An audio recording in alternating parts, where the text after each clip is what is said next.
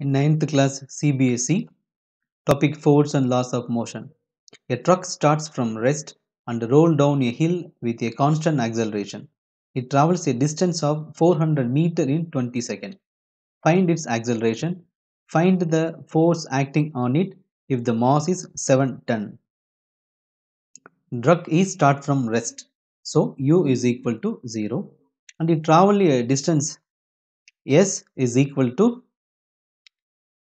400 meter.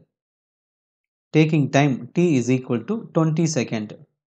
So what is acceleration? And what is the force on the truck they are asking? Mass of the truck is m is equal to 7 ton. So 1 ton is 1000 kg. So 7000 kg. So t we have s we have so we can use s is equal to ut plus of at squared formula. S 400 is equal to u0 so all become 0 and half into a into t 20 t squared. 20 squared so 400 1 2s are 2 2s are so 200 400 is equal to 200 a.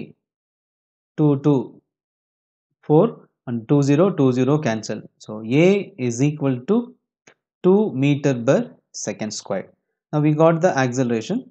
Then easy for us to find the force. F is equal to ma so m is 7000 kg and the acceleration is 2 so 14000 newton. That is the force